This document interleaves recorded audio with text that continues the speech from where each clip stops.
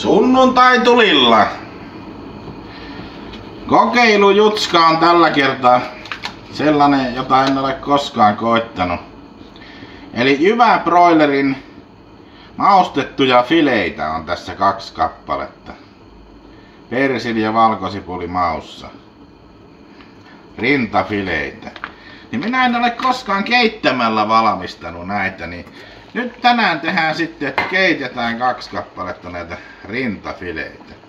Täällä on kiehuvaa vettä. Ihan vaan sinne. Laitoin pikkasen suolaa lisäksi.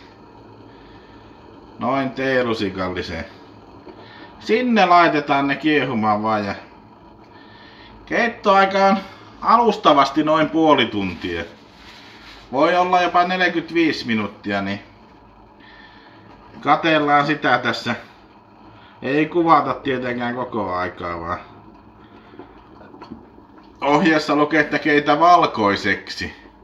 Niin seurataan sitä kypsyyttä tässä ja sen jälkeen tulee syöntivideo.